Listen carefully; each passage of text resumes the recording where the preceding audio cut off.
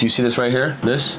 Yeah. Remember what I said that was? Fluid. Exactly. That's from all the inflammation. That's called inflammatory fluid. So, you don't want to see any needles? Nah. Then you can close your eyes the entire time, okay? Yeah. I don't want to scream. I You, don't don't- want you can any scream. pain. You can scream if you want to. I can. okay? No. I'll make it a lot of numb. Hmm. There you go. Okay. A little pinch. That's it. Look at the screen. You see that? That's the needle inside all the fluid. Now I'm going to try to take some of it out. Look at that. Do you remember how that was all black before? Yeah. And now look. It's just a small little area, okay? Yeah. So look at that. Oh, You see that? nasty. Nasty. Exactly. This is the medication. There you go. Mm-hmm. That's it.